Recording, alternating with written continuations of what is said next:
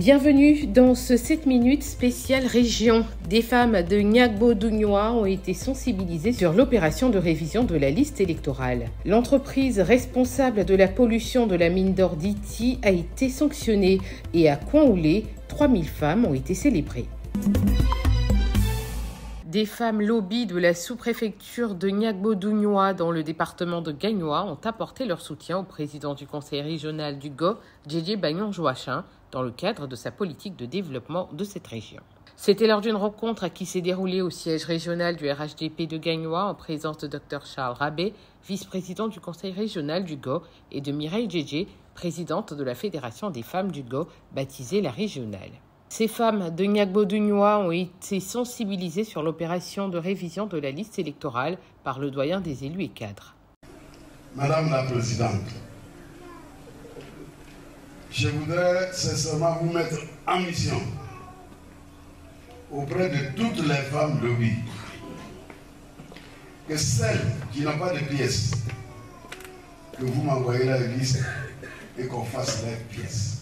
JJ Bagnon a profité de l'occasion pour passer en revue les actions de développement du président Alassane Ouattara au bénéfice de ses concitoyens. Pour sa part, la présidente des femmes lobby de Niago Dunyoa, Yen Kilemianan, a, au nom des membres de cette association, rendu hommage au président du conseil régional du GO pour tous ses projets de développement.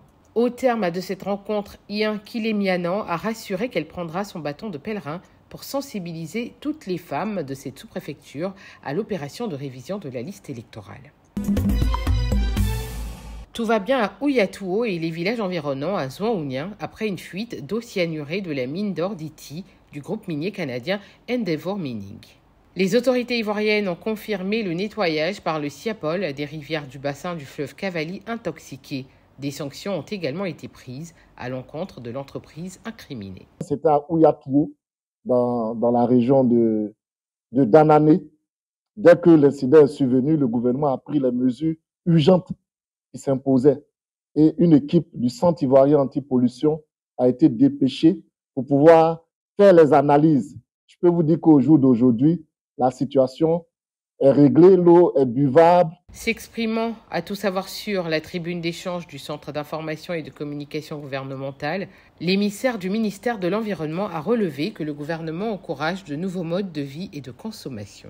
On a, on a, on a quand même un échantillon de véhicules électriques qui circulent ici en Côte d'Ivoire. Le projet est en cours, mais le gouvernement y travaille pour que véritablement il y ait la mobilité électrique. On peut pratiquer également le covoiturage.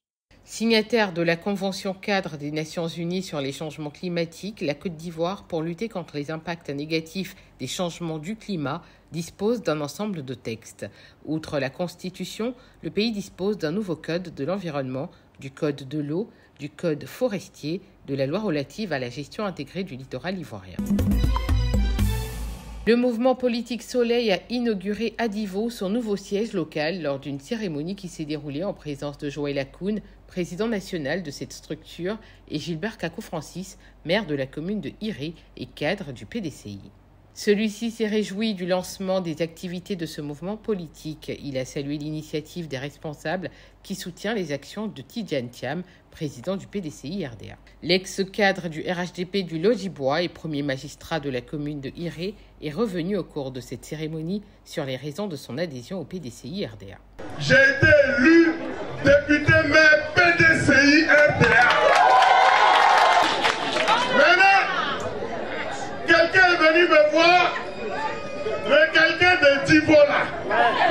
Il est venu me voir, il dit Kakou, tu es mon petit frère.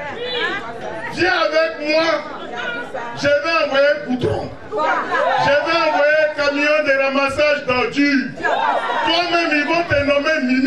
Le président du mouvement Soleil s'est dit fier d'avoir créé ce mouvement qui est affilié au PDCI. Joël Akoun a noté que son organisation se bat pour le développement social, économique et politique de la capitale de la région du Logipois.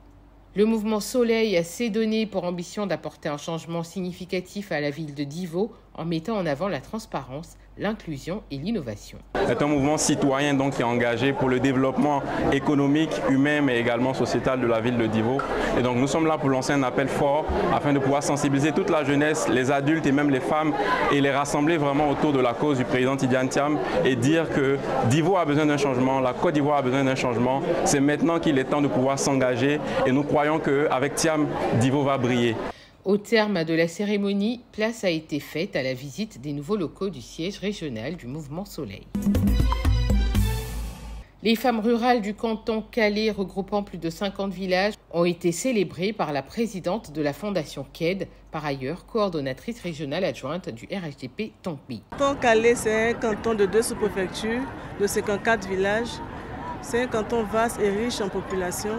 Donc nous avons décidé de mettre les femmes ensemble pour qu'elles puissent s'entraider, pour que la cohésion soit notre leitmotiv, pour que l'entraide soit notre leitmotiv.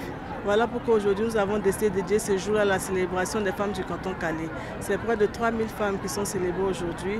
Elles partiront toutes avec des présents pour marquer notre, euh, notre amour à ces femmes-là. Invité en qualité de président de la cérémonie, le ministre gouverneur du district autonome des montagnes a salué l'initiative d'Edwige Jetty tout en invitant la population à plus de cohésion.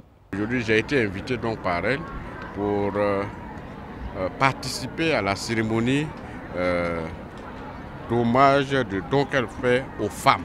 Les femmes à cette occasion ont manifesté leur joie à travers des pas de danse et des témoignages. Vraiment, aujourd'hui, je suis très très heureuse. Notons qu'à cette occasion, les femmes ont reçu des cadeaux d'une valeur de 15 millions de francs CFA. Le ministre gouverneur Albert Flindé et Edwige Dietti ont invité la population à s'inscrire sur la liste électorale pour être actrice de la vie politique nationale.